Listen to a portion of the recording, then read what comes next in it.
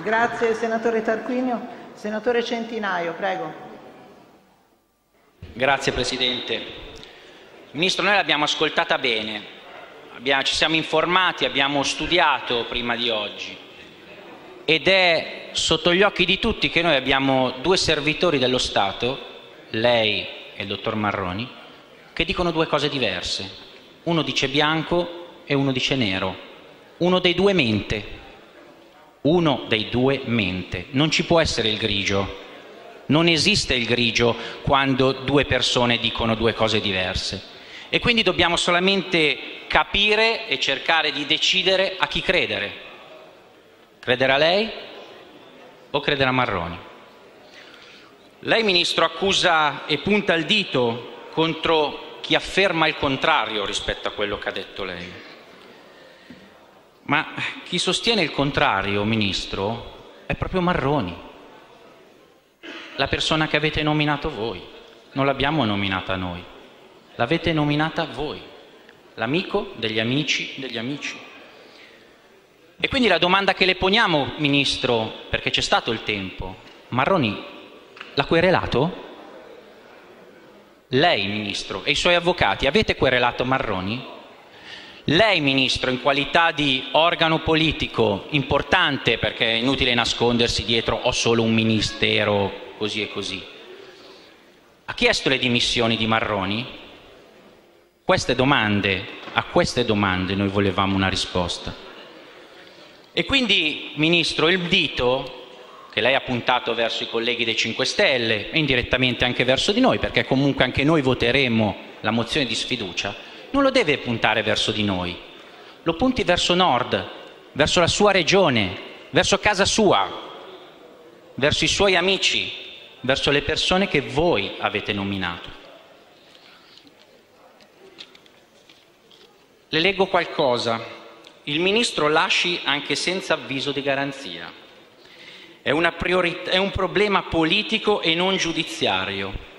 È stata minata l'autorevolezza istituzionale. O il Presidente del Consiglio dice io ci metto la faccia, si prende le responsabilità sulla vicenda, io se fossi in lui non lo farei, oppure il PD deve votare. Se cambia il Ministro il Governo è più forte e non è più debole. Matteo Renzi Corriere della Sera, 20 novembre 2013, sul caso Cancellieri.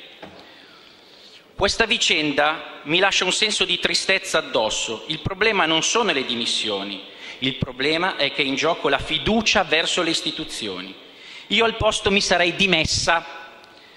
Il punto grave della vicenda è che ancora una volta si è data l'immagine di un paese in cui ci sono le corsie preferenziali per gli amici degli amici Gianmarco Centinaio non parla di se stesso al femminile, ma è ministro Maria Elena Boschi a Ballarò, 16 novembre 2013, sempre sul caso Cancellieri. Si è dimessa quando è successo al ministro Boschi? No, ma visto e considerato che aveva detto che avrebbe abbandonato la politica se avesse perso il referendum il 4 di dicembre, la parola dei suoi amici vale tanto un foglio buttato. Ci si dimette per questioni politiche ed etiche, non per gli avvisi di garanzia. Matteo Renzi, 22 marzo 2015, sul caso Lupi. E allora, Ministro, noi ci troviamo, l'hanno detto anche esimi colleghi prima di me, Nunzia De Girolamo, la nostra collega Giuseppa Idem, Maurizio Lupi, Ministro Guidi, Ministro Cancellieri. Per queste persone, per questi rappresentanti dello Stato, era in gioco il futuro e la credibilità delle istituzioni.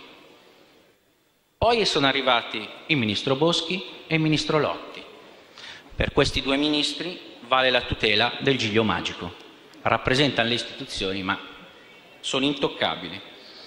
Se sei amico di Renzi, sei tutelato. Se sei un ministro peones, mi spiace per gli altri, sei fregato, devi andare a casa.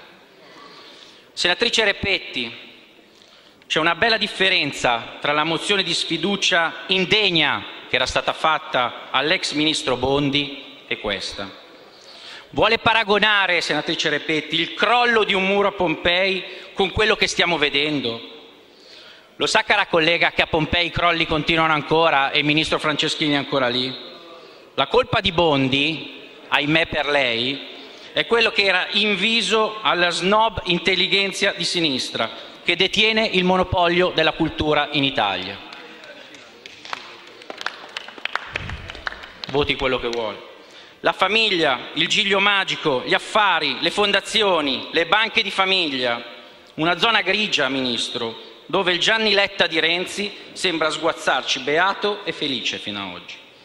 Un mondo suddiviso tra politica e affari, dove l'unico obiettivo è sistemare gli amici in modo da occupare più posti possibili. A proposito, colleghi, apriamo bene occhi e orecchie. Tra pochi giorni inizierà il mercato delle nomine nelle aziende di Stato. Bisogna accontentare gli amici degli amici degli amici, quelli che hanno pagato, pagato eh? Nel frattempo, Ministro, fuori da qui, magari lei non lo sa, ci sono 4 milioni e 200 mila italiani che vivono sotto la soglia di povertà e che non sono amici degli amici degli amici e che purtroppo non beneficeranno dei vostri servigi. Lei deve dare le dimissioni, anche per il fatto che non sta facendo nulla per lo sport. Nulla. Questo è un altro motivo per cui noi chiediamo le sue dimissioni. Zero. Zero. Non si sa nulla di quello che sta facendo per lo sport in Italia. Una delega apparentemente inutile, come dice lei, che avete appaltato al signor Malagò, vero ministro dello sport. L'unico momento in cui abbiamo sentito parlare di lei è stato per la Ryder Cup, 97 milioni di euro, ve lo ricordate tutti, c'è stato un bel dibattito, è stato l'unico momento in cui questo governo si è ricordato che in Italia esiste anche lo sport. No, mi ricordo anche quando Renzi andava a stringere la mano agli atleti che poi immancabilmente perdevano le medaglie, vista la sfiga che portavano. Ma chi c'è dietro il comitato organizzatore della Ryder Cup? Figlio di Gianni Letta, moglie di Frattini, Renziano Barilla, l'ex presidente della Rai Gubitosi, presidente del CONI Malagò, la CONI Servizi, vera banca del CONI. La mia impressione, e qui mi prendo la responsabilità, è che avete infettato anche lo sport.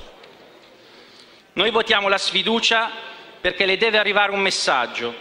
Non ci fidiamo di lei e del suo modo di lavorare. Però, cari colleghi, non voglio insegnare niente a nessuno, questa anche qua opinione personale, noi in questo momento, secondo noi, presentare una mozione di sfiducia è un errore.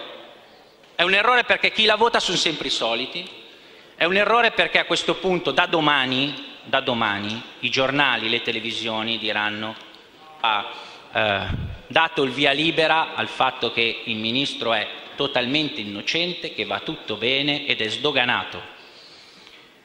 Noi, secondo noi, non, eh, ormai le mozioni di sfiducia per come sta lavorando il Parlamento della Cadrega, secondo noi le mozioni di sfiducia non servono più a niente, anche se vot- la votiamo la votiamo perché crediamo in quello che ha fatto fino adesso. E quindi, Ministro, termino, meno dei dieci minuti che ho a disposizione, uno dice bianco e l'altro dice nero. A questo punto chiediamo al Presidente del Senato di mettere due corridoi, un corridoio per la sfiducia al Ministro e un corridoio per la sfiducia a Marroni. Ci dica lei, Ministro, da che parte dobbiamo passare.